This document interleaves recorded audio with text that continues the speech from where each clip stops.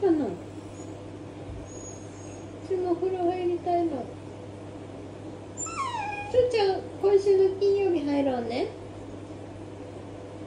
お風呂入れてあげるね。今日は待って。どうしたの？どうしたの？寂しくなった？お風呂入りたいの。ぶっちゃ。んお風呂入る？何する？すーちゃんさワンちゃんはさブラッシング先しなきゃいけないんだよ。首の後ろにさ毛玉あるよね？すーちゃんね。わかるよね？でそろそろちょっと待ってじゃあ用意しようか。トリミングしたいのね。